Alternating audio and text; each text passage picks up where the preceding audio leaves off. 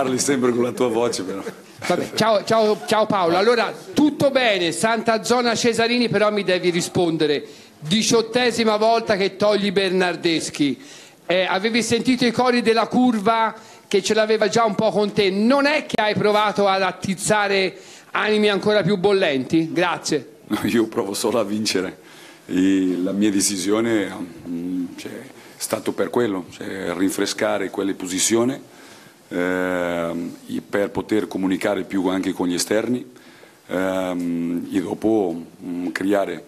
più velocità, intensità e prese di decisione nell'ultimo terzo del campo che ci potesse permettere di vincere. Credo che Federico e Riccardo quando prendiamo una decisione di questo genere sappiamo che ci portano tanto in fase eh, di possesso, meno in fase di non possesso. Quello mh, mm, durante la prima parte eh, le abbiamo ottenuto, ci abbiamo sofferto, sappiamo eh, di quello nei, nei contropiedi dei nostri avversari,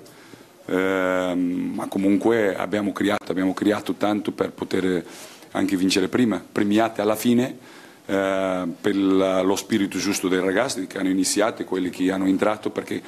eh, vogliono, vogliono vincere e dopo alla fine sono stati premiati.